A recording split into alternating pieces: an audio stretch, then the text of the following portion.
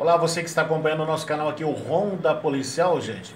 É, vamos tirar algumas dúvidas aí de pessoas que mandaram mensagem pra gente, falando a respeito de máscara em veículo, se o uso é obrigatório ou não, e também visitas nas residências. Podemos receber visitas em meio a essa pandemia? Como é que está o serviço da Polícia Militar nesse sentido?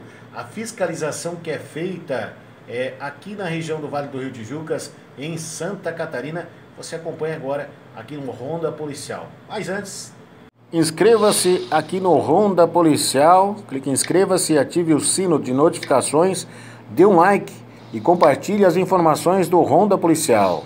Vamos lá, gente, tirar as nossas dúvidas aí. Máscara em veículo, visita nas residências, o que pode e o que não pode em meio a essa pandemia. Vamos falar com a Polícia Militar, tirar todas essas dúvidas. Também saber sobre as fiscalizações, o que está sendo feito aqui no estado de Santa Catarina. Eu conversei com o capitão Favorito, trouxe informações para você, ouvinte do Ronda Policial. Boa tarde, capitão.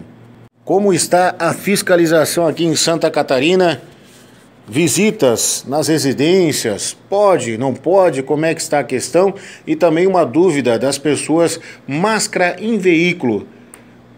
É obrigatório o uso ou não? Como é que está a questão aqui no estado de Santa Catarina? Boa tarde, Daniel. Aqui quem fala é Capitão Favoreto, comandante da Polícia Militar dos municípios do Vale do Rio Tijucas. E gostaria de deixar algumas informações referentes a nossa fiscalização.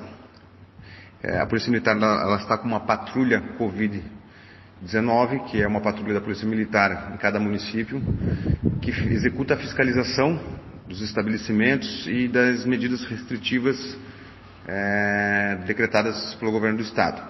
Então essa patrulha ela recebe denúncias, faz a verificação, inicialmente uma orientação posterior a interdição, caso encontre alguma irregularidade. É, referente à utilização de máscaras no interior do veículo, essa medida restritiva não existe por parte do governo do estado, então não há essa fiscalização, não há essa cobrança e a gente permanece sim cobrando apenas as medidas restritivas do governo do estado, que agora se encontram bem mais brandas, né? E algumas medidas restritivas de alguns municípios que porventura tenham feito é, medidas mais restritivas do que as do governo do estado. Então a, a nossa fiscalização ela, ela, está ocorrendo e se encontra dentro da normalidade do, que o decreto estipulou. Entre poucas irregularidades são constatadas, né? A maioria fica em orientação e a gente pede, como a título de orientação também, né, para as pessoas é, respeitarem as medidas restritivas para que não, não, tenhamos o avanço aí da proliferação do corona, coronavírus aí e que as pessoas tenham consciência, né? É, consciência dessa, dessas ações para que a saúde pública se mantenha numa normalidade. É, as pessoas não estão proibidas de receber pessoas em casas, visitas, algumas outras atividades, mas a gente conta com o bom senso, né, com a disciplina consciente da população, para que nessa pandemia se evite esse tipo de conduta, né?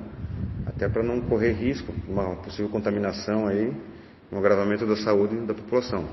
A Polícia Militar permanece à disposição para denúncias referentes a quem está fazendo a, a, a quebra das medidas restritivas e continuaremos na fiscalização.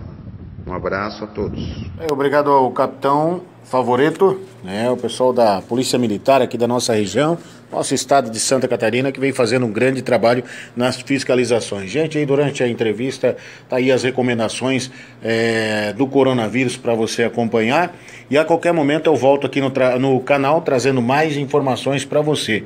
Se inscreva aqui no Ronda Policial e acompanhe o setor de segurança pública e comunidade. É o Ronda Policial para você.